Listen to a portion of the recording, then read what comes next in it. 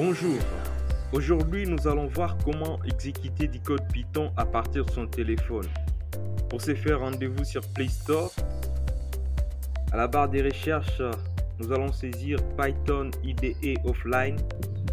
Nous avons à notre portée tout un ensemble d'IDE pour Python. Je vous conseillerais d'utiliser PyDroid 3 qui est à la fois simple et efficace. Chez moi, l'idée est déjà installée. De votre côté, il vous suffira tout simplement de cliquer sur euh, installer et le tour sera fait. Maintenant que notre idée est installée, nous allons l'ouvrir.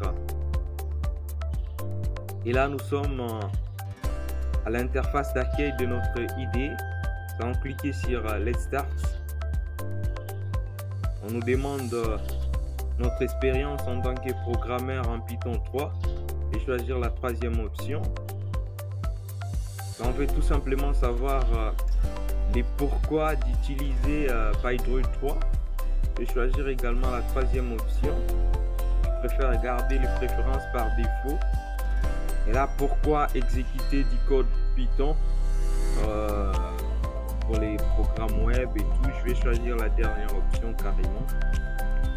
Et c'est bon, nous sommes prêts pour exécuter notre premier code en Python, on va afficher les familles Bonjour les mondes.